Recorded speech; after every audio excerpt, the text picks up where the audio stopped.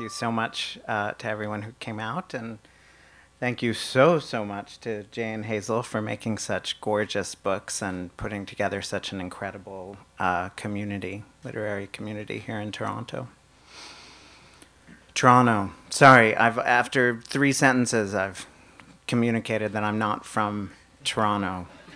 Um,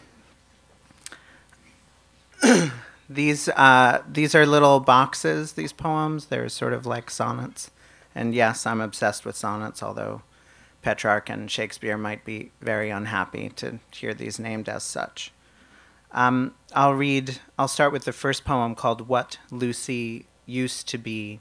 The first section of the book is. Uh, dedicated to a, a, kind of errant love affair between the narrator of these poems and someone named Lucy. What Lucy used to be, I now am, or rather, I accommodate her foibles. They live on in me now that she is gone.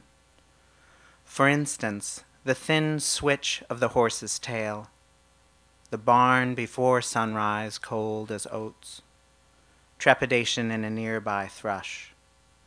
We believe that the dust layering the indoor ring comes from somewhere close by. After the damage show, during which Lucy won a pink ribbon, we headed to the Amsterdam pub. Lucy still ha- had on her dressage silencer. It was then just one of her, I was then just one of her admirers.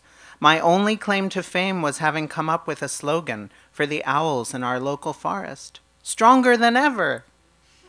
But from that, I was indeed very famous.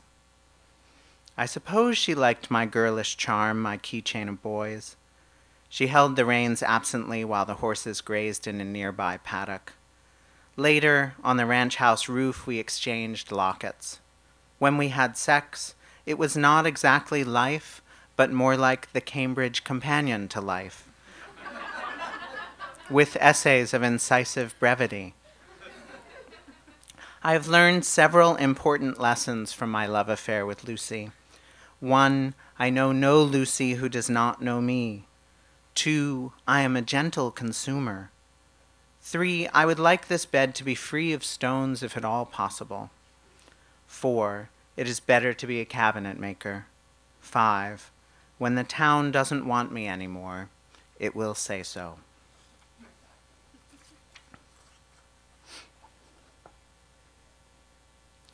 So I think um, after hearing about those uh, cooking blogs in Colin's uh, uh, reading, I, will I'll read um, from a cooking blog from the 17th century. Um, this is based on I've done uh, some research on uh, on early modern recipe books, and this came out of some of that research. It's called D'où vient donc le grand assembly? Written on the back of a 17th century recipe book. First, concerning the primary importance of the definite article, we divined it was this, the individual, that marrowed our thoughts. We opened the white vellum book of remembrances, binding it to our fingers in diary form.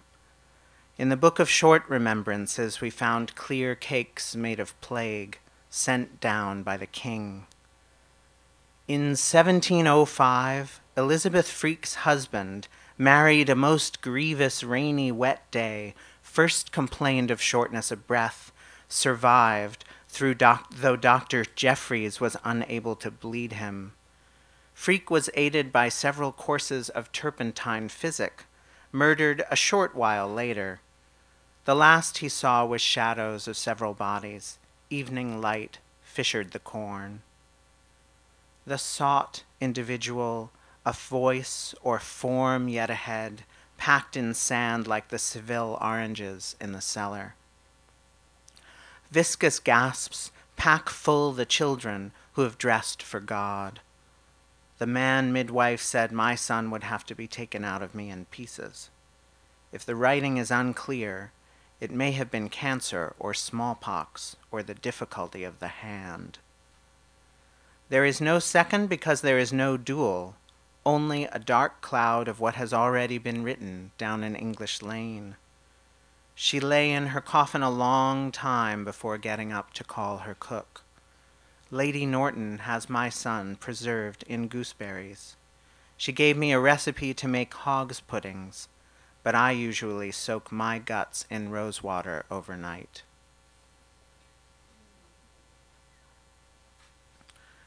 And I'll read uh, just two more from both from towards the end of the book.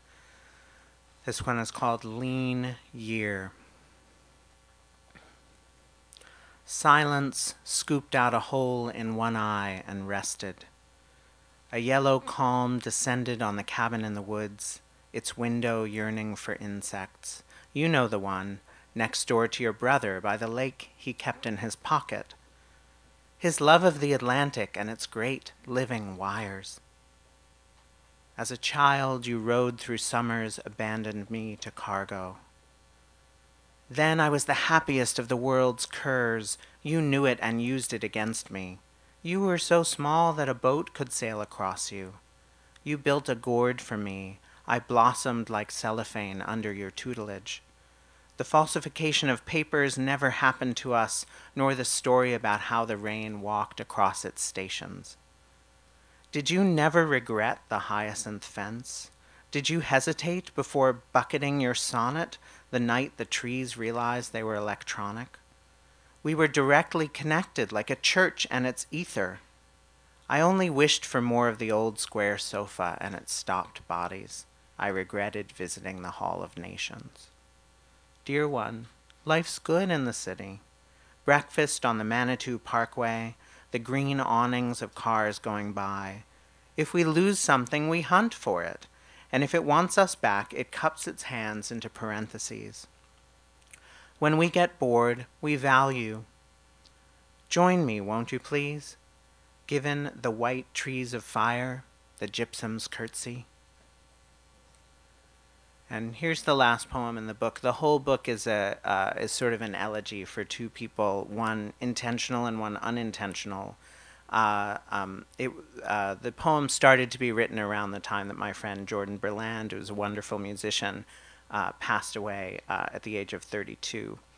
Um, and uh, so this poem is for him. And then, just as the book was going to press, one of my great teachers of poetry, John Hollander, passed away. So this book is dedicated to them both. and it makes reference to the white happiness, which in a Hunan folk legend is another name for death. The white happiness. When the monks draw breath, they become a way to skate on the creases of rocks. There it was, you again, the lost one. We walked away holding the body that had been left us the doctor tending the crops. Sadness is the kind of thing this house does not discuss. A song of paper, an opera written on the left thigh of a ghost. The West Haven cabbages renowned for their disappearance, the dragonfly with whom you fell in love. Of course, I was the lost one, not you, marooned on the gurney, the column of breath tallied and uncouth. Twelve breaths, four breaths, five. We might as well invite our teachers, the small cries of metal and stone. Why do you think I am writing now? For you said, pressure this space. You said, everyone needs to be underwater. You said, I am dealing with growth. The punctured lung, the ways of taking leave. A boy in Hunan discovers rice in a folk song, puts on his hyaline coat. You said, What would it be like if I did not fear my body? Here is a key aspect of ghost opera. When you are done, it is celebration, but no one is left. You find only the missing epinephrine. You craved ancestry, craved music. You said, Go down and rejoice. You said, Sitting outside a Paris cafe. Another aspect of ghost opera it is never finished. It is the permission of summer. Thank you.